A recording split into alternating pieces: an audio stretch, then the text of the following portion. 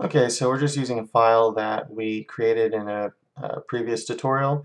If you don't already have this rigged character, you can download it in the description of this video or under resources slash example files at blendersensei.com. So what is weight painting? Well, to understand weight painting, we need to understand a little bit more about the relationship between this armature or bone rig basically that we created for this character and the actual mesh of the character itself.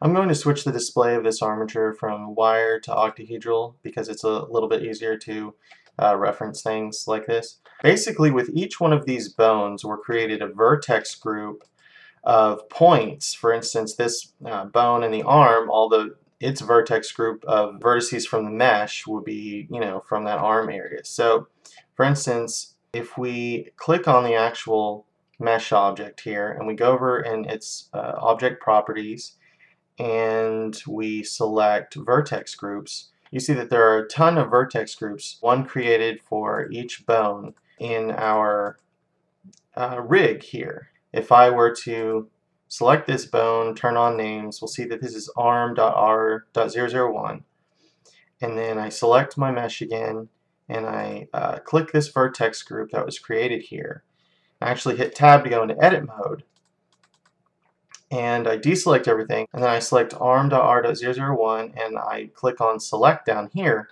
we'll see that this is the vertex group of points created for this bone.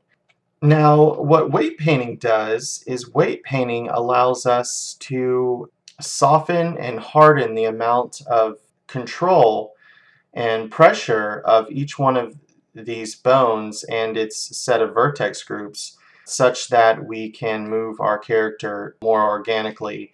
Okay, so that's enough jibber jabber. I'm going to hit tab to go out of go back into object mode and then I'm going to select the armature and I'm going to turn names off and I'm going to go ahead and switch the display back to wire. To get into weight painting mode, all we do is we select the actual mesh, not the armature, but the mesh itself, and then we want to change from object mode to weight paint. So immediately we see that everything is blue here except this selected bone up top of the head which is entirely red which the red indicates the amount of control of this bone uh, over the vertex points of mesh of that area. And you'll see it getting lighter and lighter to where it gets green and then fades into blue down the neck. That is where the influence of this bone weakens so it will bend more uh, organically. So if I hit G to grab uh, this head here, you see that it bends rather nicely around that neck, and that's because when we parented the armature and used autom uh, automatic weights, Blender does a really decent job of creating a very nice blended area between each of these bones.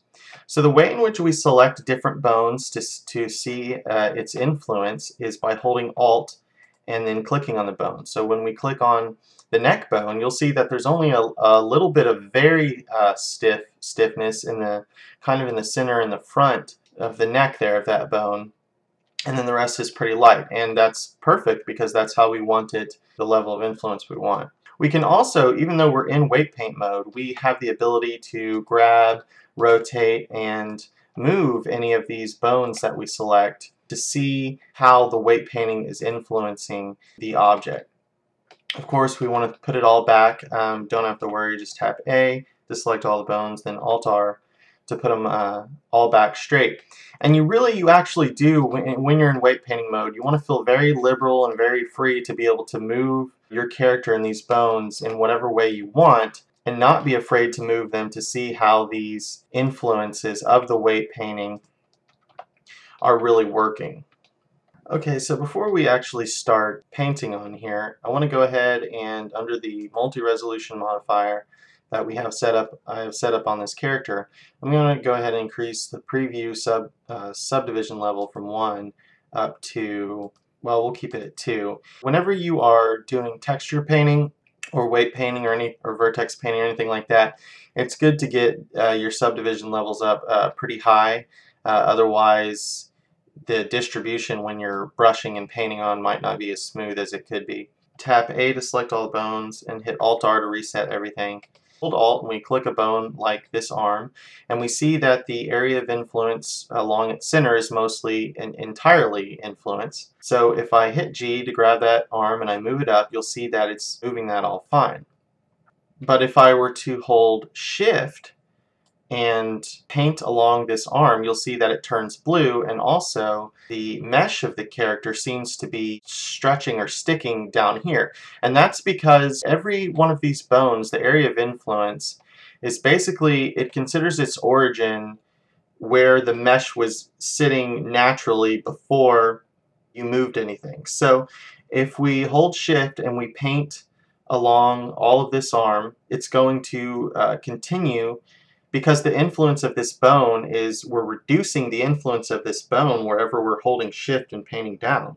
This arm is going to continue to move back towards its original position. Now, one thing that's happening is I'm only getting areas of the surface of this arm, but I can paint directly through it if we click this button down here, and then I tap X to increase the size of my brush and I hold shift and I continue to paint on this arm, you'll see the more I paint it, the more it's actually moving back to its original position there because the influence of that bone is now uh, less. So if I just uh, click on it in the regular fashion, you'll see it hop back to that bone because the influence is now increasing. I usually generally like to use my um, tablet for this and if we tap T then we'll see a big list of controls and things we can do uh, while we're weight painting. I'm going to go ahead and hit the tilde key to maximize my 3D view window here. When you're uh, working uh, in weight painting, you want to have the strength down pretty low because it can really, really quickly go from red to green or vice versa if you're holding shift. Okay, so what do I mean by weight painting evolved? Well, when I first started weight painting in Blender, I noticed a, a terrible redundancy you have the options to increase the amount of weight that you're putting on in your brush. So for instance, right now I paint like that and it, and it immediately goes red, or if I hold shift it'll immediately go blue. In the default version of Blender, you're, you're stuck between some kind of weird purgatory of uh, controlling the amount of weight and the amount of strength you want to use in your brush strokes, which should only have to be one value you're ever fooling with. So I set this up in the way I set up all the, the brush systems in uh, Blender to work where shift has the negative or opposite result. So for instance, when you're sculpting, we learned that we can basically extrude the mesh by drawing on it, and if we hold shift, it will concave the mesh. So when we are in weight painting, likewise, we don't deal we don't have to deal with uh, controlling the weight settings and then also worrying about the strength settings for every time we want to do a different area of our weight painting of our object. We just hold shift to um, to uh, decrease the influence of the weight painting and we just draw it regularly to uh, increase the influence. Typically, like I was saying, you want to work with your strength set pretty low so that you can get much more finer uh, detail in the various areas that need additional attention. In the last video when we were uh, creating this character rig I spoke about how important it was to set everything up with the .L and .R uh, syntax that Blender likes to use. One of the reasons that's really important is so that we are able to do mirror editing on our bones in weight painting. We don't really have a lot of trouble areas with, with this model. The automatic weight painting worked out pretty good. However, if we were having, if we had a more complex model with hands and having to set up a hand rig, you do not want to have to go along and weight paint fingers and joints and things like that on one hand and then do the same exact thing over on the other. And setting up the bone.l slash .r syntax that we set up when we set up this rig allows us to be able to avoid that entirely. If we, in this menu over here, all we do is select X mirror and topology mirror. And then now if I hit G to grab this hand, move it up like that or something, and then I say I alt select this bone again here, well let me actually let me uh, raise that up a little bit more. So I alt select this bone here and I shift a paint on the influence of it, you'll see that the influence is working out the same for the right, the character's right side as well. So when I alt click that, it will be the same as that. And that is in a massive time saver when you're weight painting and you're trying to uh, work some problems out.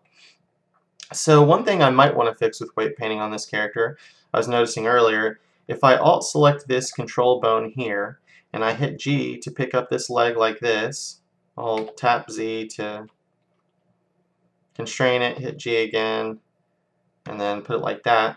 Around this area right here, that's definitely not something I want. So that's something I would want to be able to fix for both sides of uh, this character simultaneously. I wouldn't want to have to fix that leg and then uh, do the other. But what I'll go ahead and do is I will pick this leg up also and move it in a different direction so I can see the influence that uh, it's having. So I'll hit G and move it up like that and then maybe move it out like that. Okay.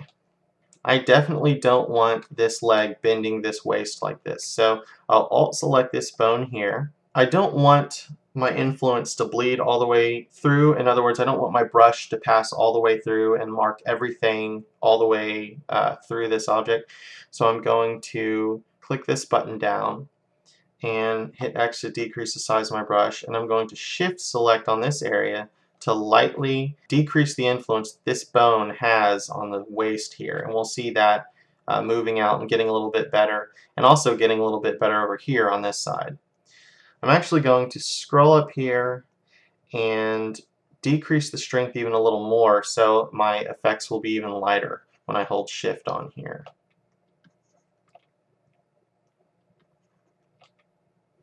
And may need a little bit more. Gonna let go of shift and just do some regular painting. If I alt select this bottom bone here, I'll probably need to decrease some of the influence on this as well.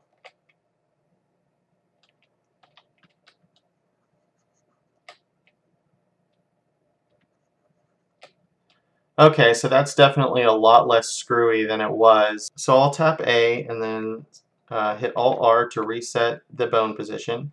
Oh, I forgot I messed up these arms real bad, but we can fix that. If I hold Alt and select this bone, what needs to happen here clearly is the influence of this bone over this area of the mesh needs to increase. So we'll just paint all this. And we want this to bleed straight through. I don't want this brush to just do on the surface of this arm. I want it to go all the way through the back.